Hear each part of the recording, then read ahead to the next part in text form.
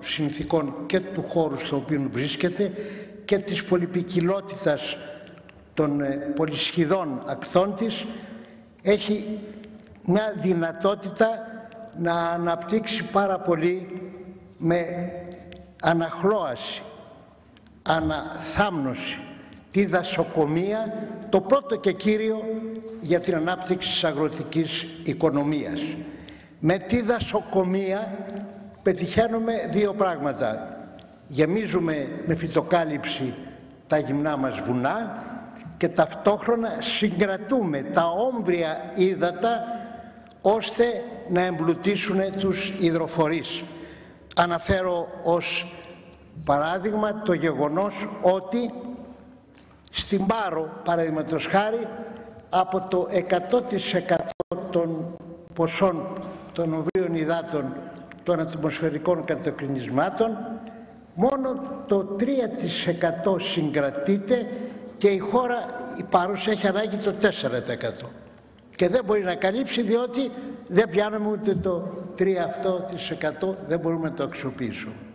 Συνεπώς, η δασοκομεία, η σιροτροφία, η γεωργία, η κτηνοτροφία, η ηχθειοκαλλιέργεια, η μελισσοκομεία, η σιροτροφία είναι κλάδοι πάνω στους οποίους μπορεί πρωτογενώς να επικεντρωθεί το ενδιαφέρον της πολιτείας ώστε να έχουμε προϊόντα, προϊόντα καταπληκτικά. Αναφέρω χαρακτηριστικά ότι από το 1995 σε ένα συνέδριο που έγινε στην Αστεπάλαια των Δήμων και Κοινοτήτων των Δωδεκανήσων για ένα νεκρό που είχε παρουσιαστεί και τότε στο ίδιο μέρος είπα τι πρέπει να γίνει και δεν με ακούσανε. Και θα έχουμε συνέχεια όσο ακολουθείται αυτή η πολιτική. Το δεύτερο βάθρο, είπα, είναι η ανάπτυξη της βαριάς βιομηχανίας, η οποία θα αξιοποιήσει όλες τις δυνατότητες που παρέχει το πλούσιο υλικό σε μεταλλεύματα και σε λατομικά προϊόντα ώστε να έχουμε βαριά βιομηχανία. Από τους βοξίτες αλουμίνιο, από τους χαλαζίτες γυαλί, από τα μεταλλευτικά ορυκτά, θιάφη, αλουνίτη, βαρυτίνη και όλα μπορούμε να αξιοποιήσουμε τον ορυκτό πλούτο. Έχουμε παραδείγματα. Το ότι λειτουργήσε ο, το, το εργοστάσιο της Πεσινέ στον ε, Κορινθιακό κόλπο είναι η απόδειξη. Έχουμε και, άλλες, και άλλα αυτά. Αλλά όταν στραφεί ολόκληρη η προσοχή προς αυτή την κατεύθυνση η βαριά βιομηχανία μπορεί να γίνει όχι μόνο παραγωγή προϊόντων για την εγχώρια κατανάλωση αλλά και παραγωγή προϊόντων για εξαγωγή. Πράγμα βέβαια που δεν το θέλουν οι εταίροι μας στην Ευρωπαϊκή Ένωση. Δεν το θέλει συγκεκριμένα η Κομισιόν.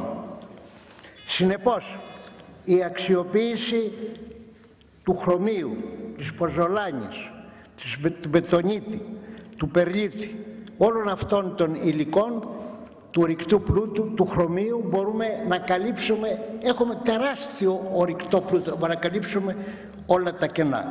Και ο τρίτος πυλώνας, το τρίτο αυτό είναι η αξιοποίηση της, ε, των ήπιων και ανανεώσιμων πηγών ενέργειας.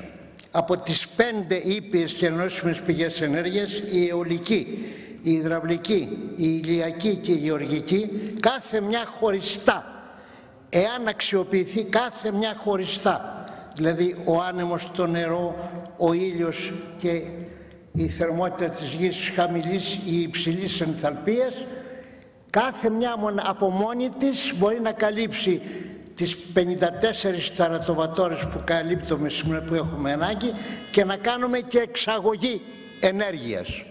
Συνεπώς, όλα μπορούν να γίνουν εάν σωστά δουλέψουμε.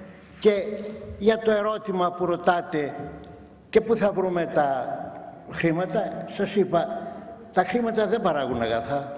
Οι εργαζόμενοι παράγουν αγαθά. Αφού θέλετε και αυτό τον τομέα, θέλω να πω ότι ο δημόσιος εξορθολογισμός έσοδα-έξοδα μπορεί να καλύψει το θέμα και οι τράπεζες να επιστρέψουν αυτά που δώσανε. 135 δισεκατομμύρια πήραν οι τράπεζες. Ρωτάω, ρωτάω συγκεκριμένα, με ποιο δικαίωμα οι κυβερνήσεις των μνημονίων ελίστεψαν τον ελληνικό λαό και χάρισαν τα χρήματα στις τράπεζες; Δεν τα δάνεισαν καν, ούτε άτοκα να πω. Δεν τα δάνεισαν. Το ερώτημα παραμένει και θέλω συγκεκριμένη απάντηση. Με ποιο δικαίωμα χαρίσατε χρήματα στις τράπεζες χωρίς καν να τα δανείσετε. Έστω και άτοκα. Το ερώτημα αυτό δεν πρόκειται να το εγκαταλείψω και το περιμένω.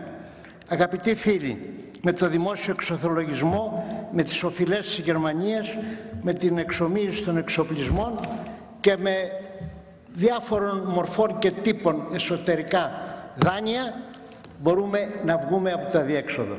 Θα βγούμε από το αδιέξοδο είτε το θέλετε είτε δεν το θέλετε. Όσο νωρίτερα γίνει τόσο καλύτερα για τον τόπο μας, τόσο καλύτερο για τη σωτηρία της Ελλάδας. Δεν υπάρχει άλλη λύση και γι' αυτό το λόγο εμείς αγωνιζόμαστε όχι να έρθει το κόμμα μας στην εξουσία αλλά να φέρουμε το λαό τον ίδιο στην εξουσία για να κάνει πράξη το γεγονός. Όλες οι εξουσίες πηγάζουν από το λαό, ανήκουν στο λαό και ασκούνται από τον ίδιο και μόνο λαό. Ευχαριστώ.